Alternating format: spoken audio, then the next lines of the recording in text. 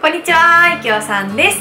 今日はですね、えー、先に言わせていただきます。お迎え動画になります。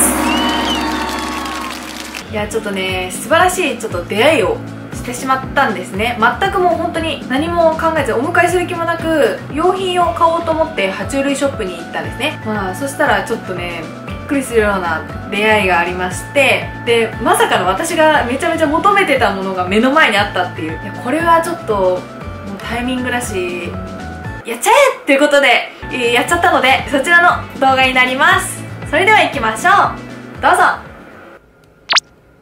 はい、それではね、飼育環境から整えていきたいなと思います。今回使うケージは、参考紹介さんから出ている、レプティワールド、レプティボックスです。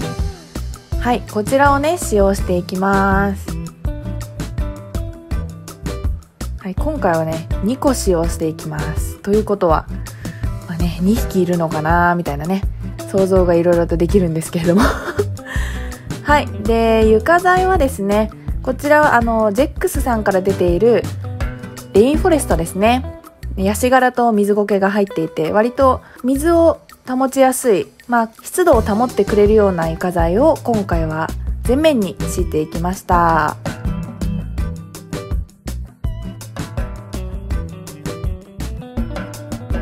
い。まあ、ちょっと真ん中にピントが入っちゃってるんですけど、次にシェルターを置いていきます。左は多分須藤さんのロックシェルター右はゼックスエキゾテラさんのなんとかシェルターですねでこれ水入れですね。ちょっとねいい水入れがなくてこれ100均のなんか小鉢みたいなやつを使ってますね。はい早速ね生態のご紹介です。うわー。はいこちら見てわかりますか皆さん。こちらはね海南と、うお、ぶね。海南トカゲモドキの男の子です。はい、この子は、海南トカゲモドキですね。あれうちにもういるじゃんって思った方いらっしゃるかと思うんですが、うちにいるのはメスなので、この子男の子です。まあ、ブリードを考えていたので、男の子を今回お迎えしました。まあプリンカップの中に入ってたね、ヤシ殻も一緒に入れてあげました。はい、次の生態。あれ？あれ？おかしいぞ。まだ海南トカゲもどきか？って思った方いらっしゃると思うんですけど。はい、そうです。こちらも海南トカゲもどきです。で、この子はね、女の子なんですよ。あれさっき女の子いるじゃん？って思った方いらっしゃいますよね。そうなんです。女の子2匹目になりました。入ってっちゃった、入ってっちゃった。はい、実はですね、この2匹、なんでこうペアでお迎えしたかというと、まさかのね、この2匹はね、まあ、世にも珍しい、ハイナントカゲモドキのワイルド個体なんですね。いや、これは買いでしょって思って、もう即決で決めました。いや、びっくりしましたね、本当に。まあ、まさか今ね、こんだけ規制がかかりまくってるハイナントカゲモドキがワイルドで、まさかのペアでいたっていうのがね、もうびっくりしましたね。こっちが男の子の顔です。さっき映ってたのがメスの顔ですね。もう全然違いますよね、顔がね。あ、こっち来た。かわいい。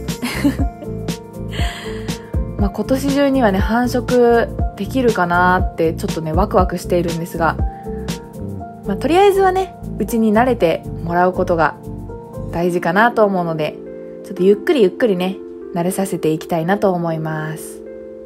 すっごい速さでもうシェルター入っちゃっちゃった。あ、この子が女の子です。顔が全然違う。まあ、この子もね、背中のバンドが美しくて、いやとってもいいペアですね。お迎えしてよかったと思います。はいいかがだったでしょうか？いやもう前回のねあのジャパンレプタイルショーの購入品でちょっと皆さんあお迎えなしかって思ってた矢先の出来事だったんです。私もねそうびっくりしたんですよ。ジャパンレプタイルショーで何かお迎えできる生態いたらいいなって思ってたんですけどまあなんかねちょっといい出会いがなく、まあ、現状の子たちで何かするかって思ってたんですが排難の子たちがいるとはまあ思わなくってでまさかの求めていたワイルドびっくりしましたね。本当に。いやでも年内にはちょっとね排卵のブリードをしたいなってずっと思ってたんで、で、もともと言ったちっちゃい子覚えてますか ?EUCB の子をお迎えした動画ってあったんですけど、あの子はね、結局ね、メスだったんですよ。まあちょっと女の子2匹いても、まあちょっとキャパ的に余裕もないし、ちょうど私の友人がハイナンのメスを飼育してみたいっていう風に言っていて、あ、じゃあちょうどうちにメス2匹いるから1匹譲るよっていうことで、その子はお譲りしたんですよ。なので、今いるのは、爬虫類クラブさんでお迎えした、日本 CB のハイナンのメス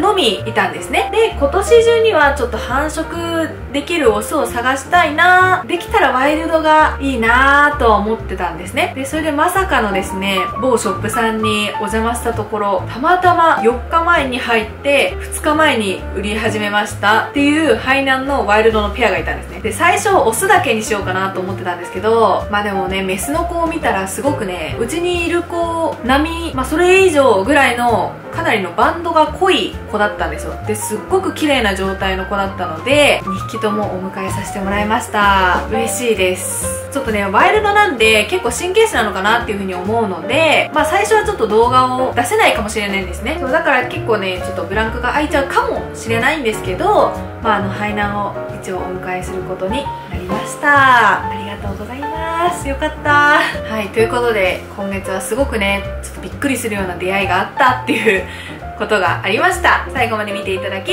ありがとうございました。はいなんかわいいなワイルドかっこいいなって思ってくださった方はチャンネル登録グッドボタンお願いします。それでは次の動画でお会いしましょう。バイバーイ。